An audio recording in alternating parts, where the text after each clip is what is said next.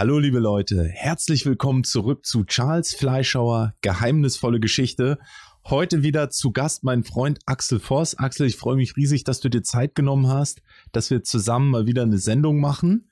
Ich habe auch, man erkennt es jetzt kaum, in der Zwischenzeit, ich musste ja aufgrund der vielen Wünsche ähm, meiner Kanalfans meine Wand hier dekorieren. Hier oben, da ist ein Foto, wo du auch mit drauf bist. Da waren wir damals bei dir mit Andreas Beutel, haben eine schöne Sendung aufgenommen. Also es gehört hier zu meiner, jetzt ich muss meine Kamera doch ein bisschen dahin halten, zu meiner Erinnerungswand. Ähm, jetzt wollen wir aber nicht weiter wackeln. Axel, wir wollen uns heute über ein super, wirklich super interessantes Thema unterhalten. Es geht um den Renaissance-Maler Albrecht Dürer. Dürer ist wirklich spannend aus vielerlei Hinsicht. Und du bist ja nicht nur Symbolforscher, sondern auch, was viele nicht wissen, studierter Kunsthistoriker. Das heißt, du hast eine gewisse Expertise, die man dir jetzt mal so unterstellen könnte, in diesen Themenbereichen. Und deshalb habe ich mir gedacht, bist du der richtige Gesprächspartner für dieses Thema Albrecht Dürer und ähm, hast ja auch einige Sendungen zu diesem Thema in Planung, die dann auf deinem Kanal erscheinen werden, weil Dürer, müsst ihr wissen, liebe Zuschauer, bietet Stoff für unheimlich viel. Die Frage ist, wie tief will man einsteigen? Hier heute auf meinem Kanal ist es eher eine Einführungssendung. Auf Axels Kanal wird bald vertiefendes folgen. Was aber nicht heißt, dass wir heute nicht in die Tiefe gehen. Wir werden uns mal diesem Phänomen Dürer annähern. Das Interessante an ihm ist nicht nur, dass er ein wirklich begnadeter Maler der Renaissance war, der einfach tolle Kunstwerke hinterlassen hat, sondern dass diese Kunstwerke zeigen, dass Albrecht Dürer auch eine geistige Botschaft hatte. Also es war ein Mensch, der sich, ja, man muss es sagen, ein typischer Vertreter seiner Epoche, der Renaissance, ähnlich wie Leonardo da Vinci. Es war jemand, der auch ein umfangreiches Wissen hatte über die Welt, vielleicht auch über Religion oder esoterische Zusammenhänge, die über die, das reine Malerhandwerk weit hinausgehen. Und das hat er unter anderem auch so in seinen Werken verschlüsselt. Deshalb spricht man auch vom Dürer-Code. Ähnlich wie dem Da Vinci-Code. Und das macht Dürer so spannend. Axel, führ du uns doch bitte mal einfach in die Thematik ein und dann gehen wir schrittweise weiter vor. Ja, Charles, mache ich gerne. Schön wieder bei dir zu sein und mit dir so ein Projekt anzubieten und zu präsentieren. Ja, Dürer ist neben Leonardo wirklich auch einer meiner Lieblingskünstler, weil er eben so viele Facetten hat, so viele Tiefen hat. Er ist quasi ähm, ja quasi als Burmor Universale, wie man im Italienischen sagt, also als äh, universeller Mensch, als äh, Gelehrter, wie du gerade schon angedeutet hast, in so vielen Richtungen schon tatsächlich mit Leonardo zu vergleichen. Er steht quasi für ja die für die deutsche Renaissance aus verschiedensten Gründen. Könnte man sagen, er ist sowas wie der deutsche Leonardo? Ja, ja, das ist immer schwierig zu sagen. Also Leonardo ist für mich so wirklich ganz oben auf dem Berg aber er kommt da schon sehr nah ran. Er hat auch wahrscheinlich nicht diese Verbindung gehabt, die Leonardo hatte in Florenz, wo ja nun wirklich in der Renaissance der Schwerpunkt war, wo auch die ganzen Denker, Philosophen und Künstler zusammenkamen. Und da war Dürer in Nürnberg, obwohl er ein unglaublich gutes Netzwerk hatte, äh, doch vielleicht ein bisschen äh, so ein Solitär, mhm. der aber äh, eine Verbindung durchaus hatte zu der Platonischen Akademie, aber dazu komme ich gleich. Also er hat praktisch nicht, er hat praktisch nicht an dem Hotspot der Renaissance gelebt, mehr so ein Außenposten in der deutschen Provinz, wollte ich jetzt beinahe mal sagen. Wobei Nürnberg zu der Zeit keine unbedeutende Stadt gewesen ist. Das darf man auch nicht vergessen. Ja, das stimmt. Und äh, er ist natürlich auch gereist. Er ist auch nach Italien gereist in jungen Jahren. Wie man das denn auch später so gemacht hat, die Grand Tour, also jeder deutsche Maler hatte dann äh, natürlich auch mit seinen Kollegen in Italien sich ausgetauscht. Gerade Venedig war da auch eine Metropole, äh, sowie diese ganzen äh, Stadtstaaten in Italien, wo natürlich jeder glänzen wollte, wie Mailand, wo ja auch Leonardo wirkte. Und er war Grafiker, er war aber auch Mathematiker und er war Kunsttheoretiker. Er hat sich also da sehr stark auch in der Theorie mit der Frage befasst, mit der philosophischen Frage, die wir seit Platon kennen. Was ist das wahre, gute und schöne? Also mit dem, was man als Ästhetik in der Philosophie bezeichnen würde. Dürer und ich will euch mit Biografien jetzt nicht langweilen, das könnt ihr natürlich alles relativ äh, schnell nachlesen. Ich will schon in diese Besonderheiten, was macht ihn aus und was macht gerade dieses Werk äh, der Melancholie 1 so besonders.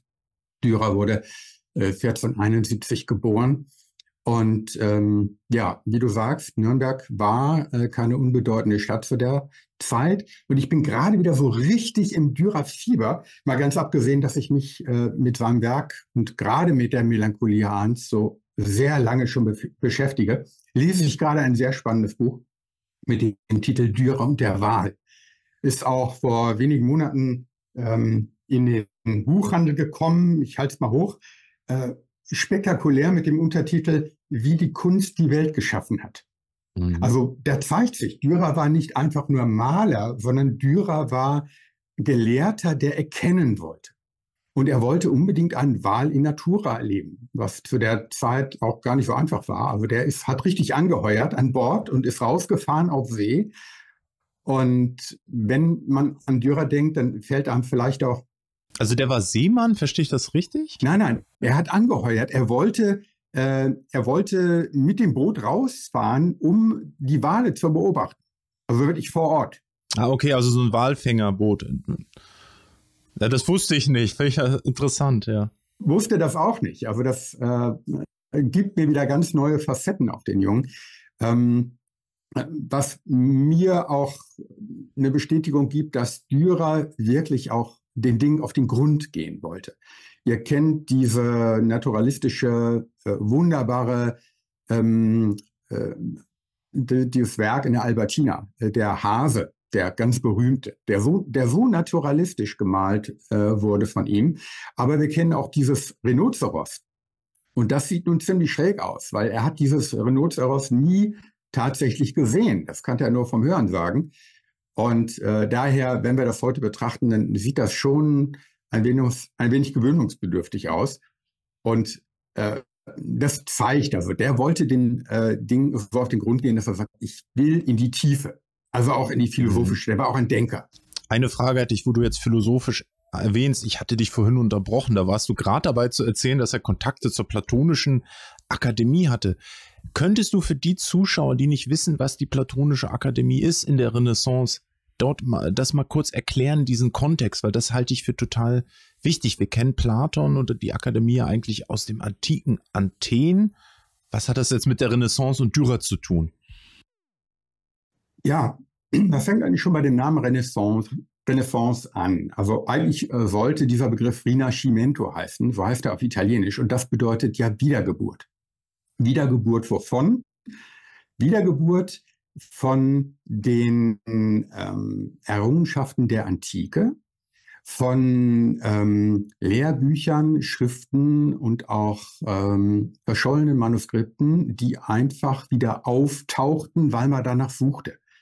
Und äh, insbesondere die Familie Medici in Florenz schickte also nun Leute aus, um nach ähm, platonischen Schriften zu suchen, die ein gewisser äh, Marsilio Ficino dann ins Italienische übertrug oder ins Lateinische äh, zuerst mal.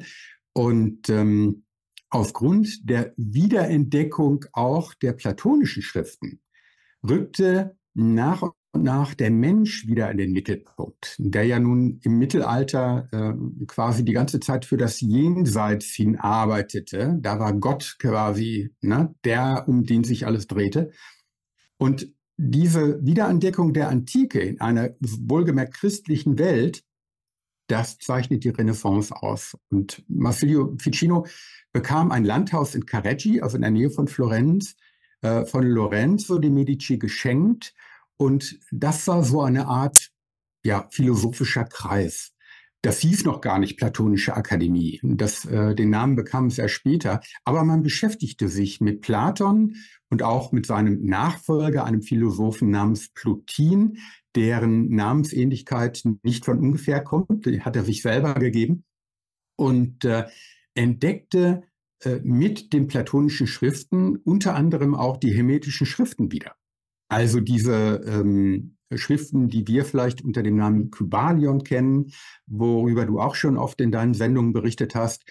Und das alles kam zurück nach Florenz, äh, auch mit dem Fall von Konstantinopel 1453 kamen griechische Gelehrte mit diesen alten Schriften, wohin natürlich ins Zentrum der Gelehrsamkeit nach Florenz. Und äh, daher war dieser Ort so, ähm, so wichtig.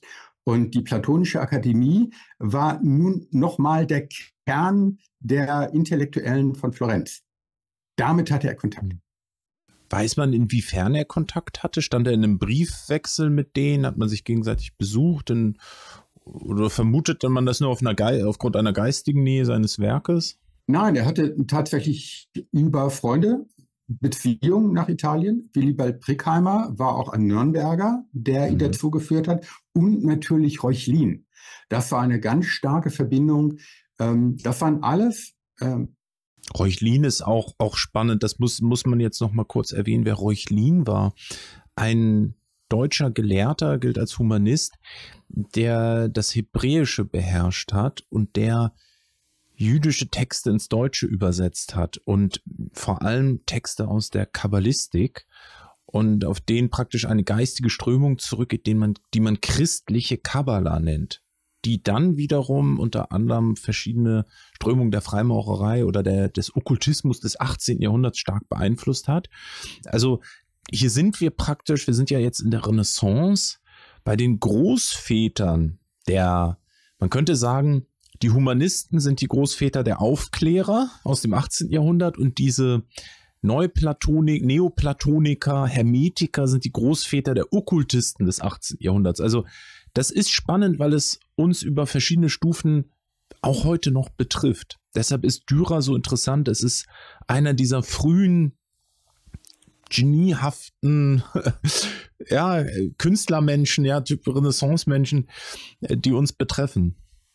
Genau, das ist absolut richtig, was du sagst. Da sind wir ja auch immer äh, im Austausch miteinander. Diese gnostisch-esoterische Strömung äh, über die Kunst und über die Philosophie, äh, die uns schon so lange begleitet, über all die Jahrhunderte. Äh, und einen Namen möchte ich natürlich nicht unerwähnt lassen, was die Platonische Akademie angeht. Das ist Pico delle Mirandola. Und Pico delle Mirandola war jemand, der versucht hat, die Kabbalistik und die jüdische Tradition mit der christlichen und mit den Erkenntnissen der Antike in Einklang zu bringen. Das heißt, war ein überreligiöses Konzept, wo all diese Strömungen auch ihre Heimat finden sollten. Was ja auch interessant ist, das klingt alles eigentlich recht modern. Und unsere Moderne begann ja dort. Es ist ja das Ende des Mittelalters. Es ist die, sind die frühesten Formen und eigentlich von einer Denkart und einer Schaffensart, der wir heute noch entsprechen. Wir sind die Urenkel von denen. Ähm, aber kommen wir zurück zu Dürer. So viel jetzt erstmal so zu diesem Kontext, in dem er steht. Das sind Kreise, wo er Kontakte hin hat, wobei er eine Randfigur ist in Nürnberg, wo er aber geistig irgendwie so in diesem Feld zu verorten ist. Ja. Ja, er hat diese Reihe der sogenannten Meisterstiche. Also drei außergewöhnliche Kupferstiche, die auch miteinander in Beziehung äh, stehen. Die hat er gefertigt, als er schon ein etablierter und bekannter Künstler war. Er war, als er die Melancholia 1 geschaffen hat, 43 Jahre.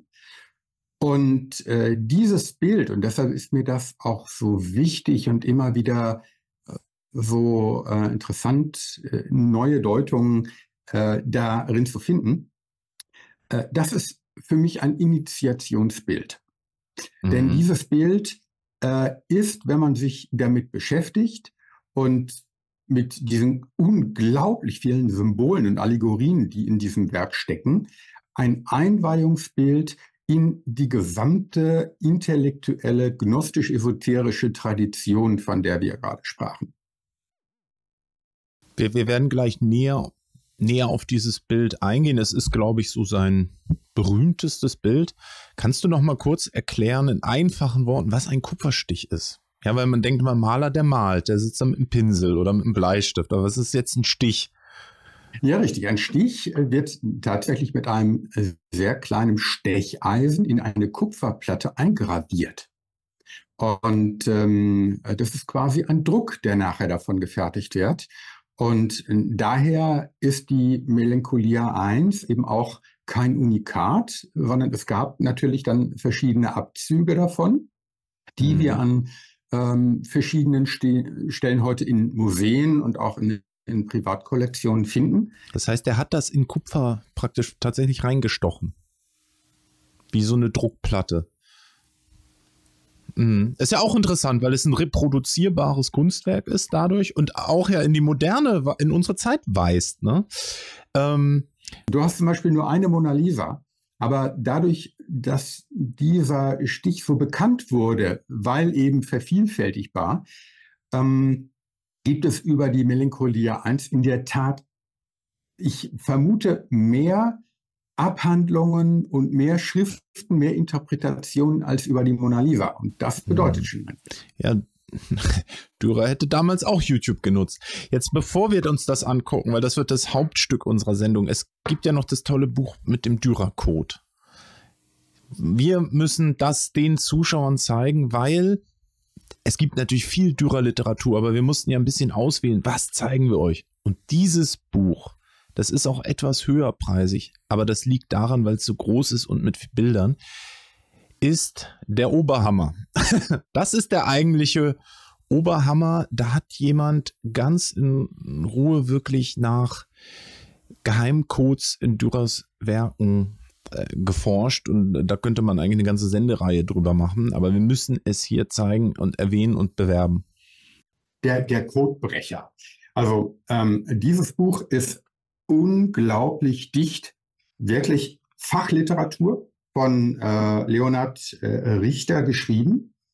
Ein Werk, was mich auch komplett verblüfft und fasziniert hat, weil er hier auch wirklich in diese ganze Tradition eingeht, die Dürer zugänglich war zu dieser Zeit und ähm, aufgrund derer er sein ganzes Wissen in diesen Werken kodiert weiterverarbeitet hat. Ja, und vor allem hat er in diesem Standardwerk mal rausgearbeitet, wie dicht eigentlich diese ganzen Informationen sind, die Dürer in seinen Bildern äh, transportiert wie überladen das eigentlich ist. Also wir machen ja nur eine Dürer Einführungssendung, aber das Buch sei wirklich jedem nochmal ans Herz gelegt, der da ganz tief in die Materie der ähm, Mysterienweisheit einsteigen möchte. Wir wollen jetzt aber uns die Melancholia 1 angucken und wir werden sie einblenden und ich werde ein bisschen drin rumkritzeln. ähm, aber es sei euch nochmal ein Tipp ans Herz gelegt. Geht doch einfach mal ins Internet auf Wikipedia, findet man, wenn man Melancholia 1 eingibt, eine gute Version des Bildes, also eine gute Auflösung und druckt euch das aus. Es kann durchaus Sinn machen, falls ihr dazu Lust habt, druckt euch das Ding mal aus. Dann könnt ihr das, während wir drüber sprechen, auch einfach mal in der Hand halten und angucken. Und auch so, ich meine, bei Axel hinter ihm hängt es auch. Ähm, das macht sich gut in der Wohnung. Ist ein schönes Bild. Äh, vielleicht hänge ich es mir hier auch noch an die Wand. Genau. Ich habe es hier hinter mir, ist es. Und ich habe auch natürlich als äh, großer ähm, ja, äh, Forscher und, und Fan dieses Bildes ich habe auch diesen äh, Polyeder, der jetzt hier gleich ins Auge fällt, äh, den habe ich hier auch nochmal als 3D-Druck neben mir stehen. Aber dazu sage ich äh, gleich mal ein bisschen was. Jetzt sehen wir es hier. Wir, wir sehen jetzt die Melancholie und wir sehen ja auch, es ist detailüberfrachtet. Vielleicht zur Einführung, was ist überhaupt die Melancholie? Also was ist jetzt das große Motiv? Was sieht man hier? Ja, interessant ist, das Bild hieß ursprünglich auch nicht Melancholia 1, obwohl es ja da äh, quasi links oben in der Ecke sogar erwähnt wird. Wie gesagt, es war äh, einer der drei äh, Meisterstiche von äh, Leonardo, der, äh, von, von äh, Dürer. Von Dürer. Jetzt fange ich schon mit Leonardo an. Von Dürer. Und ähm, äh, das äh, erste dieser Meisterstiche ist auch nicht ganz unbekannt unter dem Namen Ritter, Tod und Teufel. Ähm, bei Dürer hieß das zunächst erstmal ähm, der Reuter. Also Reuter mit TH, also ein anderes Wort für Reiter eigentlich. Und äh, dann gab es eben dieses Bild zum Schluss und dann gab es noch Hieronymus im Gehäus. Also das, um es nochmal zu erwähnen, das sind die drei Meisterstiche.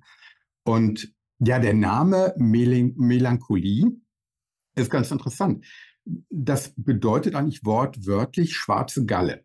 Also Melas Collet geht zurück auf äh, Hippokrates äh, Säftelehre und wird er nachher übernommen von äh, dem äh, großen Gelehrten und Mediziner Galen, der dann äh, diese Temperamentelehre damit einbringt, äh, wo wir heute sag, sagen, wir sind melancholisch. Ne? Das ist eigentlich, muss man sagen, das sind vier Grundmenschentypen. Der Melancholiker ist einer davon und das ist damals medizinisches Wissen. Oder ja, man hat, das waren Charakter- und Körpertypen, wenn man so will.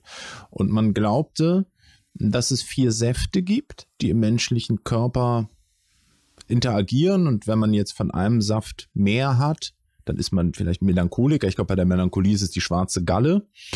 Oder wenn was ins Ungleichgewicht äh, gerät, ist, entsteht eine Krankheit. Ich will diese Lehre in keinster Weise hier schmälern, weil es ist interessant. Auch das ist antikes Wissen das müsste man dann naturheilkundlich mehr erforschen. Das tun ja auch Leute. Ja, also spannendes Feld, aber da, da, darauf nimmt jetzt Dürer praktisch Bezug auf die Melancholie, also diesen speziellen Menschentyp. Genau. Also die anderen kennen wir. Ne? Also den, den Choleriker zum Beispiel ne? oder den Phlegmatiker, den Sanguiniker. Ähm, die jeweils eben diese Körpersäfte zugeschrieben werden. Ne? Und äh, die Melancholie, ja, melancholisch ist für uns heute trübsinnig, versunken, ähm, dem Alten nachhängend. Und ähm, ja, es ist schon interessant, äh, dass genau dieser Ausdruck hier in der rechten Hälfte des Bildes von dieser Gestalt so genau rübergebracht wird. Da sinniert ein, ja was, ein Mann, eine Frau, ein Engel ähm, mit zwei sehr großen Flügeln. Ähm, da gibt es nun ich, ich, mache jetzt fast, was beinahe schon moderne Kunst ist. Ich markiere hier mal Sachen, damit der Zuschauer immer weiß, worüber wir sprechen. Wir sprechen jetzt mal über diese, diese Figur. Diese Figur hat also genau diesen sinnierenden Ausdruck mit dem äh, Kinn äh, auf der Hand so aufgestützt und hat gleichzeitig aber auch einen Zirkel in der Hand, so dass man sagen kann, ja, da wird etwas konstruiert und gleichzeitig darüber nachgedacht, aber so ins Leere starrend, versunken. Diese Figur sitzt und hat zwei große Schwingen hinter sich. Also es ist ein Engel, äh, das kann man sagen. Und dieser Engel hat neben dem Zirkel auch noch weitere interessante Attribute.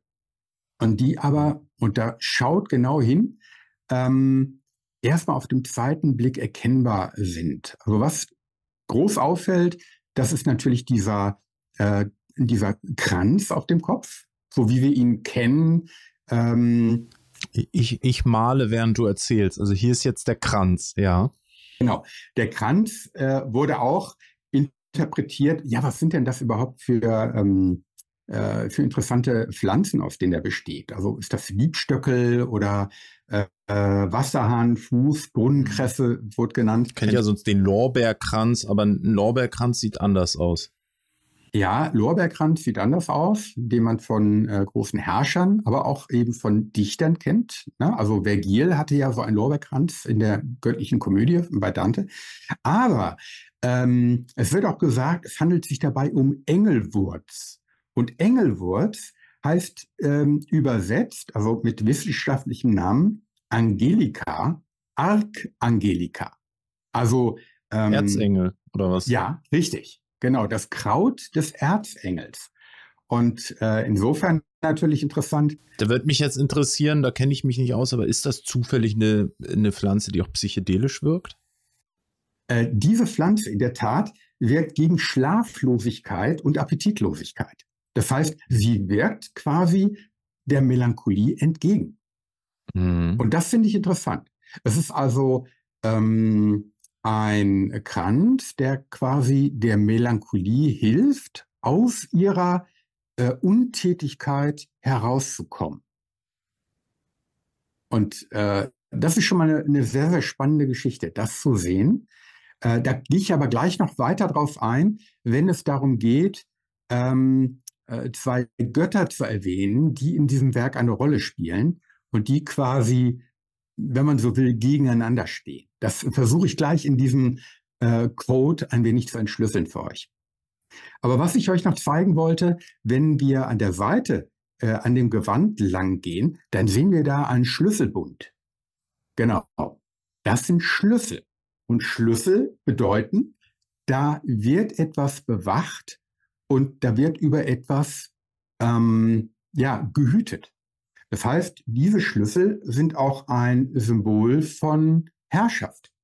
Von, und das hat äh, in der Vorzeichnung dann Dürer tatsächlich auch so erwähnt, äh, wer die Schlüssel hat, hat die Macht. Also ein ganz klares Symbol, äh, dieser Engel ähm, hat Zugang zu etwas, nur er hat die Schlüssel dafür. Und weiter unten sehen wir dann, weiter unten links, auch auf diesem Gewand, einen Geldbeutel.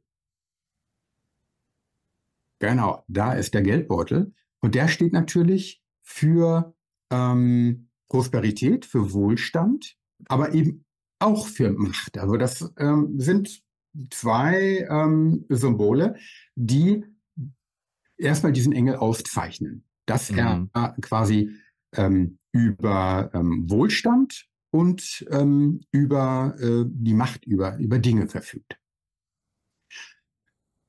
Okay, soweit erstmal äh, zu dem Engel, ähm, wo ich immer wieder faszinierend fand, diese Faltung des Gewandes. Also das ist ganz meisterhaft, äh, wenn ihr überlegt, das hat er ja äh, in diese Kupferplatte geritzt. Und dieses Werk ist gerade mal ja ungefähr ein A4-Blatt groß. Was für ein Meister war da am Werk. Also ich kann darüber immer nur den Kopf schütteln. Dieser ähm, kleine Kopf des sogenannten Puto, also dieses kleinen Engels neben der großen Figur, der ist gerade mal äh, ein 5-Cent-Stück groß. Wie hast, wie hast du den gerade genannt? Wie, wie wird der in der Kunsthistorie? In der, in der Kunsthistorie steht der Puto für einen, für einen kleinen Engel oder auch für einen Genius, wenn man so will. Das mhm. findet man zum Beispiel auch bei Raphael. Sind die, das sind meistens so kleine, nackte Amore, so mit mhm. Flügelchen und die sehen immer ganz putzig aus. Hier ist er ein bisschen geknickt in der Melancholie. Genau, der hat nun die Augen geschlossen und er, er schreibt aber in ein Buch. Das heißt also, er ist derjenige, der quasi als Schreiber das Ganze dokumentiert, was der Engel vielleicht gerade mit dem Zirkel als Künstler schafft. Das heißt, die beiden stehen in Beziehung miteinander und er sitzt auf einem Mühlstein. Dieser mhm. Mühlstein ähm, ist ein Symbol dafür, dass etwas gemahlen werden muss, um daraus etwas Neues entstehen zu lassen. Wir kennen das ganz einfach vom Brotbacken. Und dieser Mühlstein kann mhm. in seiner Mühlstein. genau in seiner Radform natürlich auch als ähm, ja schwer zu ertragendes Leben interpretiert werden. Ne? Also das Lebensrad und der Mühlstein, den man trägt und äh, diese ganze Schwermut. Mhm. Oder den man auch unter schweren Anstrengungen bewegen muss und so weiter. Richtig, ja, genau. Und ähm, ja, daneben äh, sehen wir als dritte Figur einen schlafenden Hund, der sehr abgemagert ist. Also man kann ihn sogar als Windhund vielleicht interpretieren. Und Hunde gelten ja in der Symbolsprache als Symbol für Treue.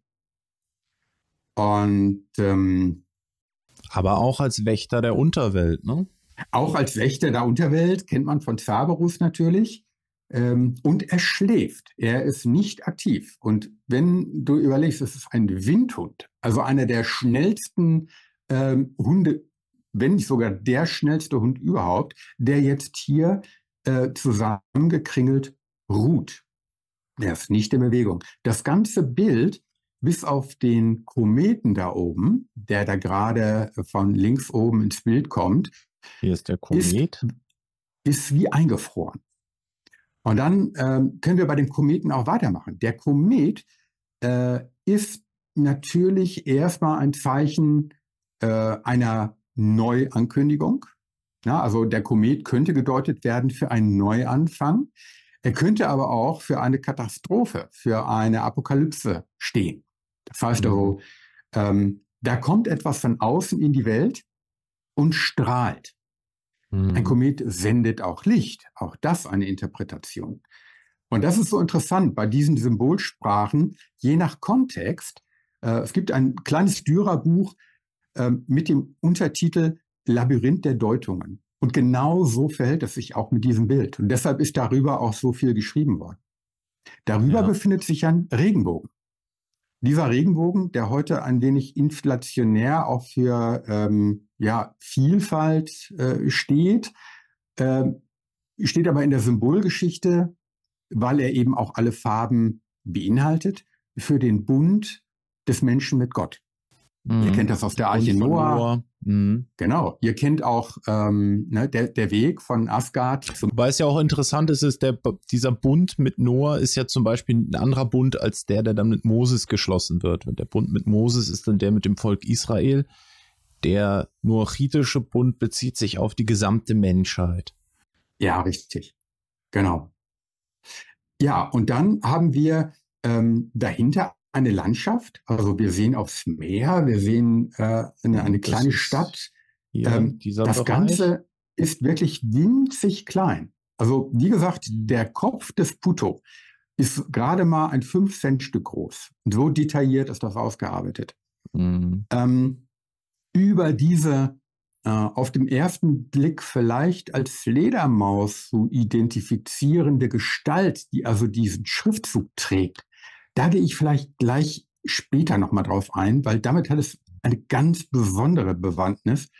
Denn nach meiner Interpretation ist das gar keine Fledermaus. Und was, äh, ja, aber gut, aber dann, äh, was mich auch mal interessieren würde, was ist das hier? Ist das ist ein Schmelztiegel. Da sind Schmelz wir, da, ja, da sind wir tatsächlich mitten in der Alchemie. Denn mhm. äh, dieser Schmelztiegel, also ihr seht diesen äh, ähm, diesen Bottich, äh, der dieses Feuer trägt und darauf ähm, befindet sich äh, quasi äh, ein Schmelztiegel und eine Feuerzange. Äh, das sind Symbole für alchemistische Prozesse, für und eine Transformation. Hätte vielleicht sogar einen Verdacht, was da geschmolzen wird, denn dieser Grundtyp des Melancholikers, der wird mit dem Planeten Saturn in Verbindung gebracht. Astrologisch sind wir hier in der Welt des Saturn.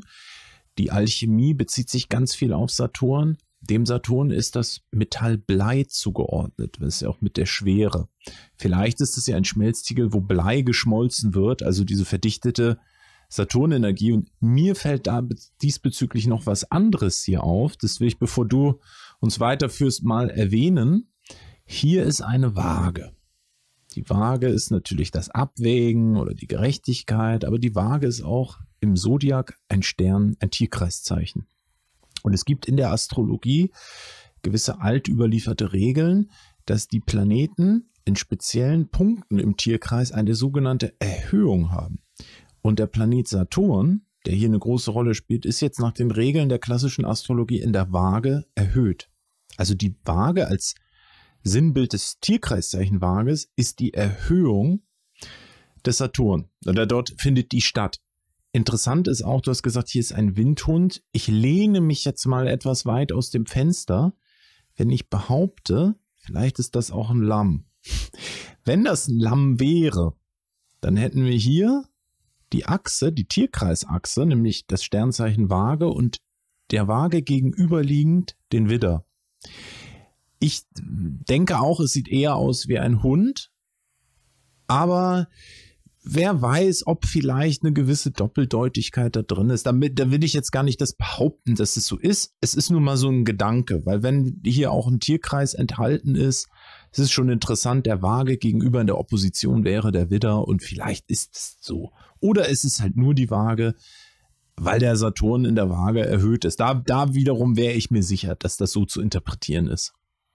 Da bist du als äh, Astrologe natürlich ähm, gleich äh, bei, bei, bei deiner, ja, du bist natürlich äh, genau da Spezialist und ich finde es so schön, dass jeder bringt quasi seine Interpretation aus seinem Fachbereich damit rein.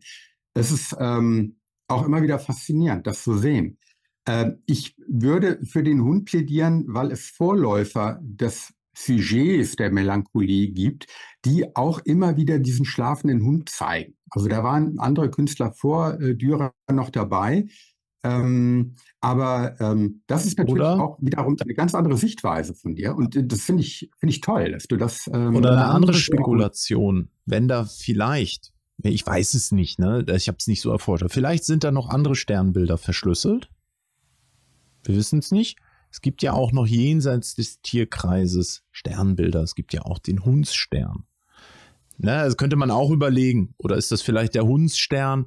Es muss nicht so sein, aber das sind so Arten, wie ich an sowas herangehe, dass ich gucke, findet man dort Übereinstimmung. Jetzt auch die, diese Engelsgestalt, finde ich, erinnert mich auch an viele Darstellungen des Sternbilds Jungfrau. Es erinnert daran. Also es gibt viele auch alte Darstellungen, wo diese Jungfrau wird auch als geflügeltes weibliches Wesen oft gezeigt. Wer weiß, ne? Also Dürer hat sich sicherlich ausgiebig auch mit Astrologie befasst und Alchemie. Also der, da ist schon von auszugehen, dass sowas hier entschlüsselt enthalten ist. Auch nochmal eine andere Geschichte. Wir sehen hier die Sanduhr. Die Sanduhr natürlich der Saturn, dann im griechischen Kronos ist auch der Gott der Zeit, der Chronologie. Und die Sanduhr ist auch ein Saturn-Symbol. Unter anderem. Ja, ähm, das, ich sprach ja gerade von den zwei Gottheiten, die in diesem Bild versteckt sind. Und das ist, ähm, da hast du natürlich völlig recht. Äh, der Saturn, der hier überall durchschaut. Der Saturn hat eben diese Schwere. Ich bin auch da bei äh, dem Blei ganz bei dir. Denn der Saturn hat das Element Erde. Er steht für Trockenheit, für Kälte, für Unbeweglichkeit. Und ähm, er ist nicht nur Herr der Zeit, er ist auch der Schwellenhüter. Und ähm, er ist, wenn man so will, der schlafende König der Elemente. Also er ist ein, wenn man ja das interpretieren mag, vielleicht ein geheimnisvoller Verwandler auch. Und ähm, daher äh, finde ich all das, was in diesem Bild passiert, also diese Erstarrung und dann dieser Komet, der da kommt, und diese Bezüge auf Saturn, der ja quasi zum einen seine Kinder verschlungen hat, als äh, quasi der Vater der Olympia, dann auch äh, von Jupiter nachher getötet wurde, oder von Zeus, wenn man so will. Ähm, auf der anderen Seite war aber auch der, der Gott des goldenen Zeitalters. Also da kann man zurückgehen äh, bis äh, in die Veden. Also dieses goldene Zeitalter ist so ein, mhm. ähm, das taucht in ganz vielen Mythen der Menschheit auf. Es gibt ja auch bei den, bei den alten Griechen so Generationsabfolgen von Götterdynastien. Und Zeus ist der Anführer der sogenannten Olympia.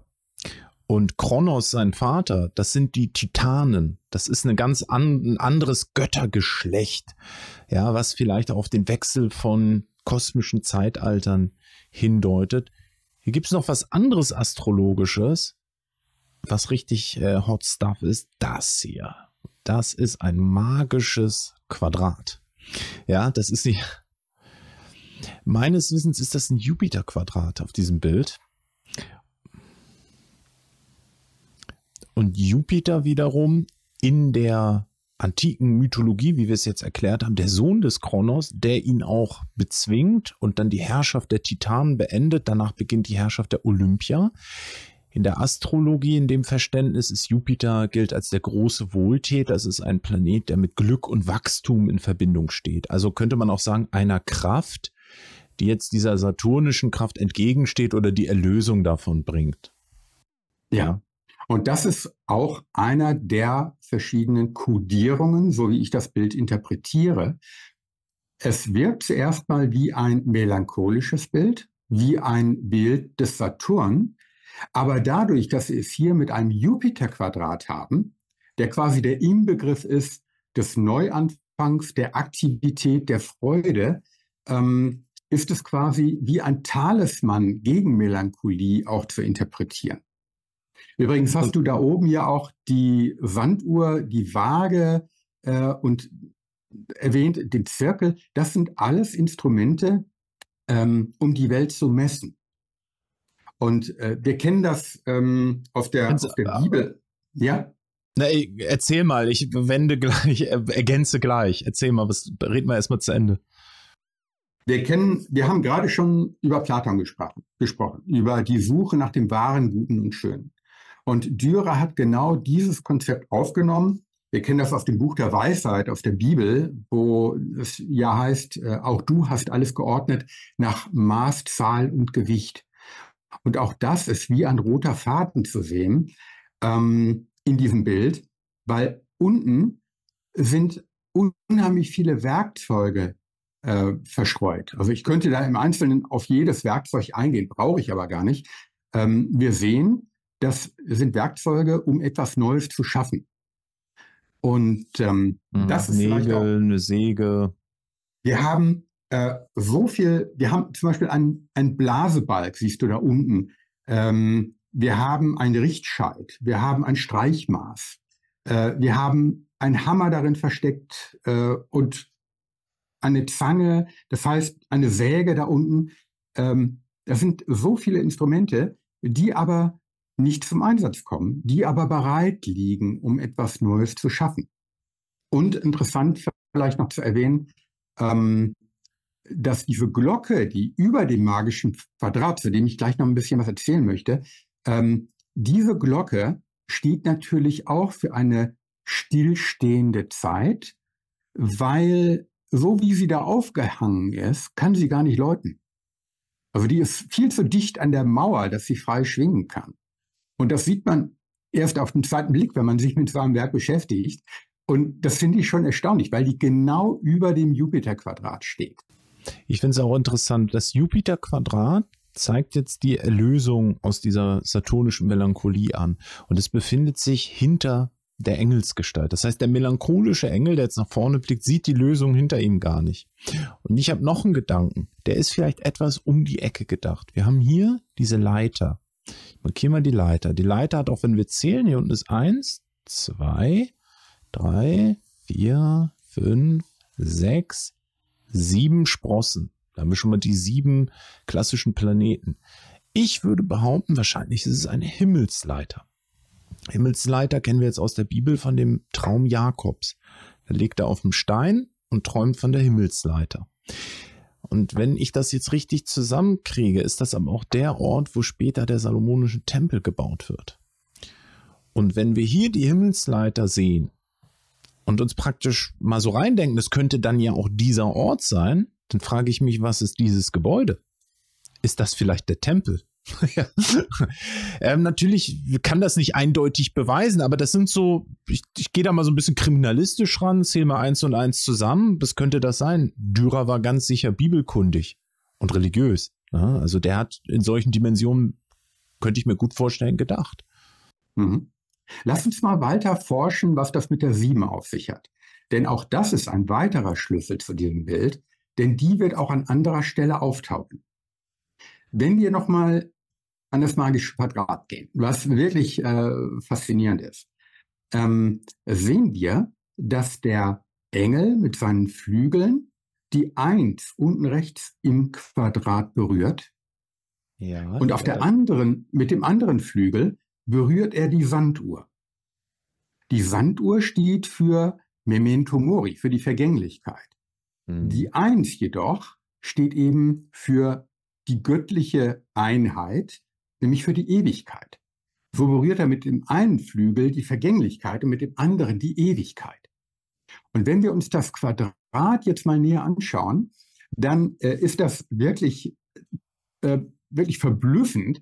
Wir können ähm, die Reihen dieser vier Zahlen in der äh, senkrechten, in der waagerechten, wir können die Zahlen in der diagonalen, wir können die Zahlen ähm, jeweils in den vier Ecken dieses äh, Quadrates addieren und es kommt immer dieselbe Zahl raus, nämlich 34. Und mhm. 34 zusammen addiert ergibt die 7. Und da sind wir nämlich wieder bei der Verbindung von Geist und Materie. Weil die 3 für die göttliche Zahl steht. Wir kennen das von der Trinität, von der Trimurti. Und die 4 steht für das Irdische. Wir haben ja schon ähm, äh, gerade diese, diese Vierheit ähm, im Irdischen erwähnt. Der Tierkreis entsteht ja auch. Der Tierkreis entsteht ja auch aus der Kombination dieser Zahlen. Du hast die vier Elemente Erde, Wasser, Feuer, Luft. Und jetzt werden die abgewandelt in drei Zustände, kardinal, fix und labil. Und so ergibt es dann immer drei Feuerzeichen, drei Erdzeichen, drei Luftzeichen, drei Wasserzeichen. Und so haben wir die zwölf. Also wir kommen von der 3 und der 4 zur 7 und zur 12 und haben so diese, diese heiligen Zahlen und, und damit ja auch heilige Geometrie und kosmische Ordnung dort enthalten.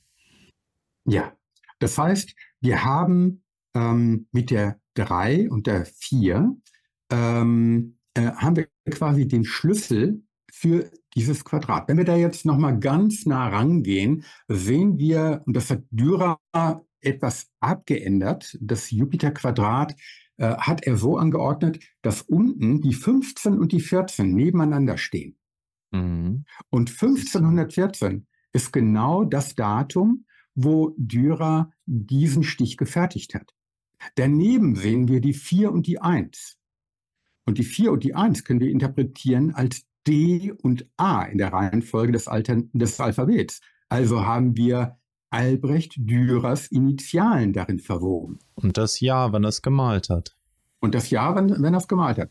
Und wenn wir ganz unten ähm, auf den Stein. Oder nicht gemalt, er hat sie gestochen.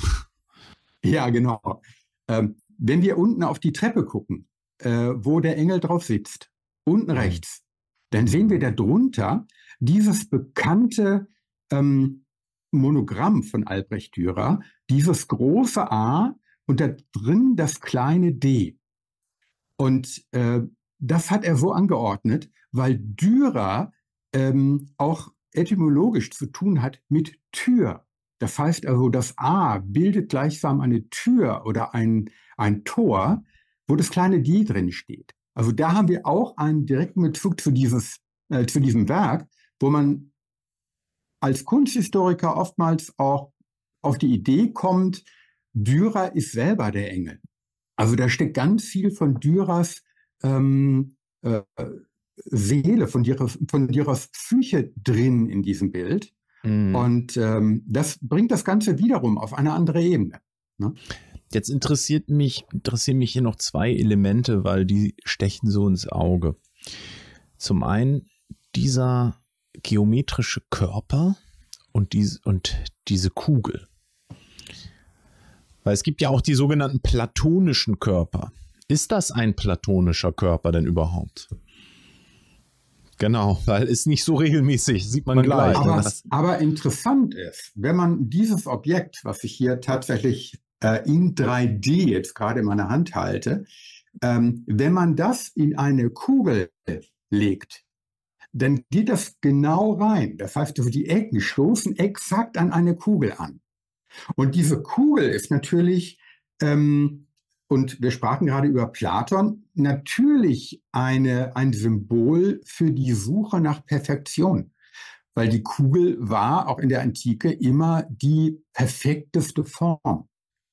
Und dieser sogenannte Polyeder oder ähm, Rhomboeder, wenn man so will, äh, der setzt sich äh, auch zusammen aus ähm, verschiedenen Dreiecken und Fünfecken. Und wenn man jetzt von oben auf dieses Objekt gucken würde, dann würden quasi die Dreiecke. Halt mal in die Kamera, halt mal bitte in die Kamera. Ist jetzt ein bisschen klein, aber dass man es trotzdem sieht, ja. So guckt man so oben rauf. Mhm. Oben und unten hast du, ähm, worauf ähm, der ähm, Polyeder steht und oben sehen wir auch äh, dieses Dreieck. Das sind zwei Dreiecke, die gegeneinander läufig sind. Wenn man also von oben auf dieses Objekt guckt, dann bekommen wir ein Hexagramm. Wir bekommen eben eine Darstellung, eine symbolische Darstellung aller vier Elemente, die sogenannte Quintessenz in Form eines Hexagramms. Denn in der Symbolsprache werden oftmals die Elemente äh, als ähm, Dreiecke dargestellt. Also wir kennen das, ähm, dass wir ähm, äh, die Spitze nach oben ist Feuer und die Spitze nach unten ist Wasser und dann mit äh, zwei Strichen ergänzt haben wir dann noch Luft und Erde dabei.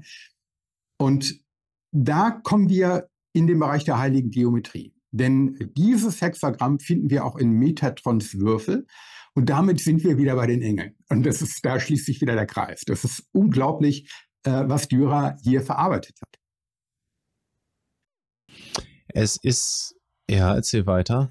Interessant ist auch, dass wenn man ähm, äh, quasi die Punkte dieses Polyeders jetzt quasi auf äh, das magische Quadrat in der waagerechten projizieren würde, dann bekäme man eine Figur, ähm, wo man äh, quasi ein, ähm, einen aufrechten Winkel und einen absteigenden Winkel äh, erhalten würde.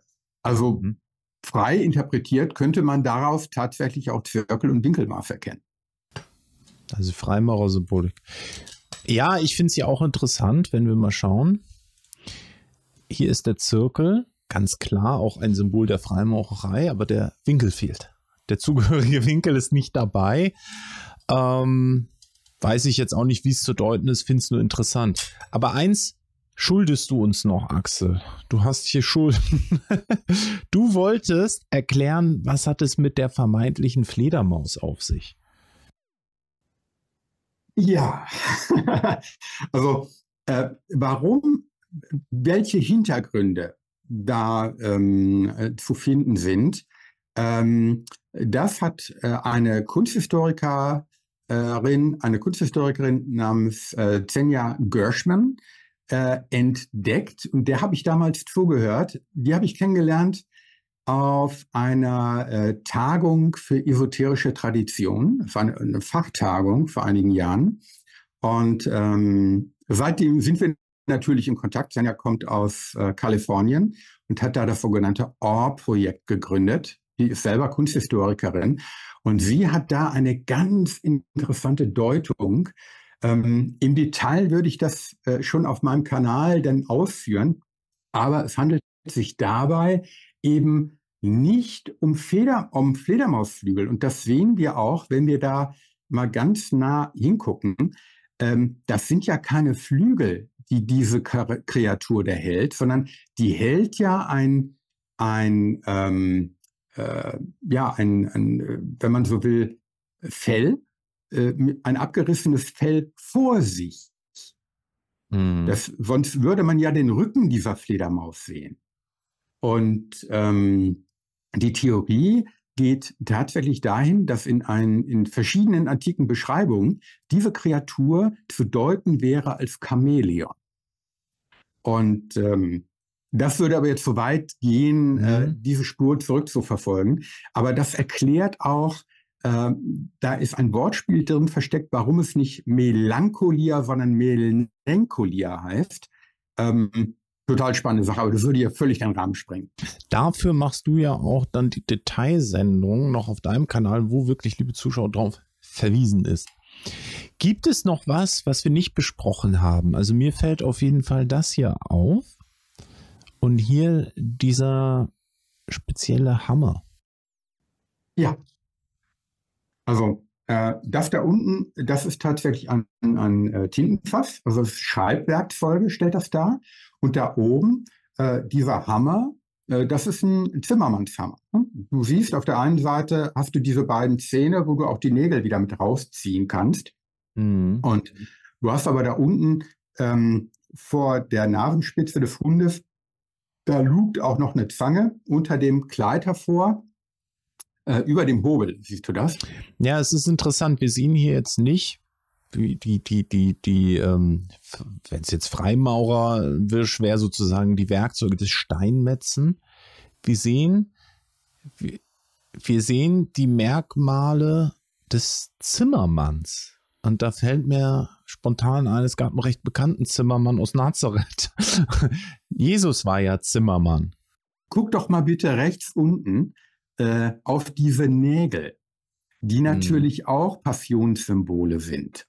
Wenn du diese Nägel ähm, äh, in der Kunstgeschichte siehst, dann weist es meistens, äh, wenn sie jetzt nicht im Kontext stehen mit anderen Zimmermannswerkzeugen, doch sehr klar auf die Kreuzigungsnägel ähm, in, in der Passionsgeschichte.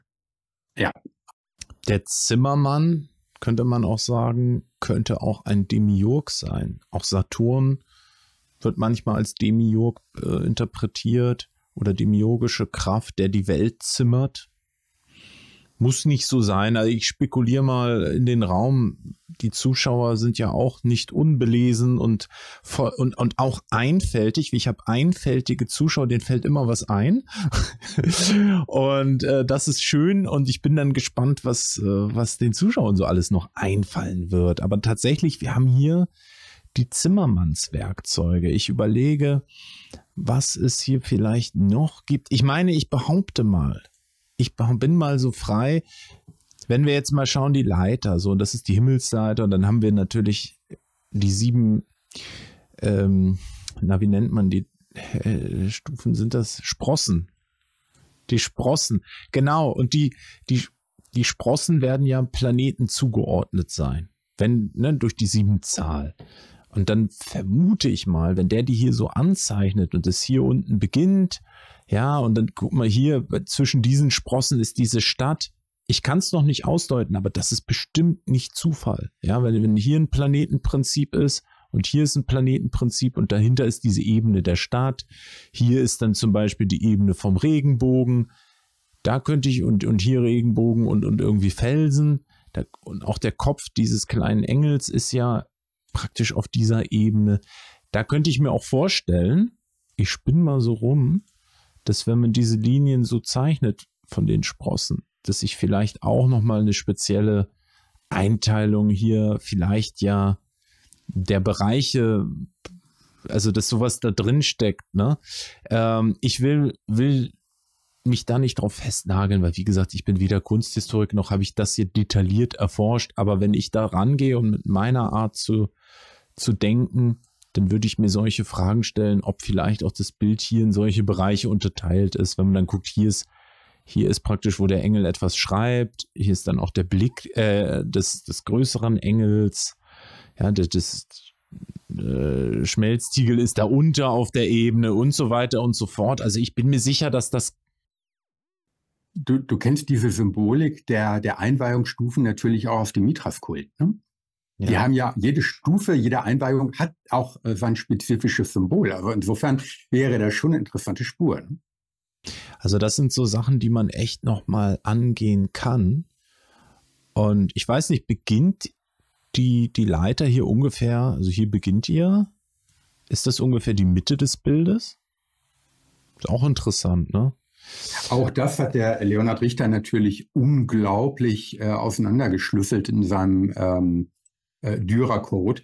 Ja, ich meine, nach, nach, welchen Gesetzmäßigkeiten, nach welchen äh, heiligen äh, Geometrien äh, da dieses Bild überhaupt konstruiert wurde. Das mhm. ist nochmal eine ganz andere. Aber allein, allein die Tatsache, dass hier die, die, die Leiter ungefähr in der Mitte, Mitte beginnt, zeigt schon so, so eine geometrische Struktur. Wir haben ja jetzt viele einfach über die Symboliken gesprochen, aber der geometrische Aufbau spielt da noch rein. Ähm, es ist ein unheimlich spannendes Meisterwerk. Und wie gesagt, jetzt reden wir hier einige Minuten auf YouTube drüber und das ist schon super spannend und im gewissen Sinne tiefgründig. Andere haben äh, so dicke Bücher dazu geschrieben. Also was da drin ist, Halleluja, äh, das ist, äh, das ist echt, echt geil. Allem, ja, muss ich mal so vulgär ausdrücken. Ja, es, es ist geil, weil ähm, was mich daran so unglaublich äh, berührt auch, ist, dass dieses Bild von einer unglaublichen Aktualität ist. Also ich möchte jetzt noch mal einmal die Brücke in die Gegenwart schlagen, wenn man sich mit diesem Bild wirklich beschäftigt, auch äh, von der äh, philosophisch, auch psychologischen Seite her, was passiert gerade mit uns? Also in einer Welt, die quasi komplett im Umbruch ist, die sich gerade aufzulösen scheint, wo wir auch in so einer Art Ohnmacht, in einer Erstarrung stehen, auch in einer ähm, ja, Depression, wo wir auch die, ähm, den Kinn oder das Kinn äh, auf den Kopf stützen und sagen, was kommt denn jetzt? Was wird denn jetzt hier aus mir? Wie, wieso geht dann hier alles kaputt gerade gefühlt um mich herum? Und man kann in einer großen Interpretation sagen, äh, das ist eine Darstellung äh, eines äh, depressiven Engels, der überhaupt nicht mehr in Arbeit kommt, der einfach ähm, quasi ausgebrannt ist und seine Schwingen gar nicht mehr erheben kann. Und das Ganze wird dokumentiert von diesem Kleinen, der das alles aufschreibt. Und ähm, auf der anderen Seite kann man aber sagen, wenn man nun Jupiter gegen Saturn setzt, ist das quasi die Ankündigung eines Neubeginns. Und dieser Regenbogen steht ja auch für Hoffnung. Also auf eine aktuelle Situation, Befindlichkeit, ähm, auch Empathie bezogen, weil das ist übrigens auch äh, nochmal vielleicht interessant zu erwähnen, dass von den vier äh, Charakteren, die wir besprachen, steckt auch wieder die vier drin für, die, für das Symbol der Erde.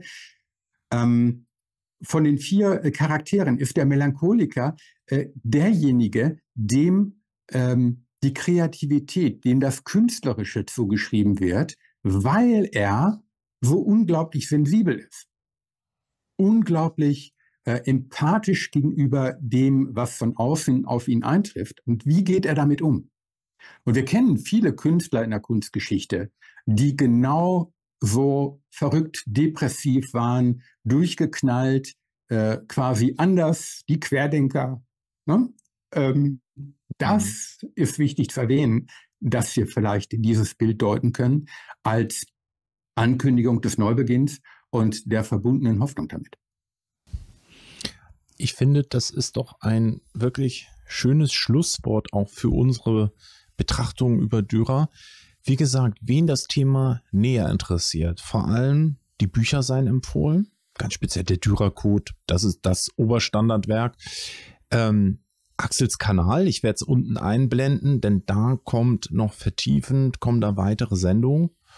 Und äh, ansonsten, Axel, ich freue mich auf zukünftige Gespr Gespräche mit dir und merke gerade, äh, ich glaube gerade kunstgeschichtlich, da können wir vielleicht noch, uns noch auch noch andere Werke angucken und mal so entschlüsseln. Das hat auch für unsere Zuschauer einen großen Mehrwert, weil es spannend ist. Danke, dass du dir Zeit genommen hast. Danke dir. War schön mit dir. Mal wieder.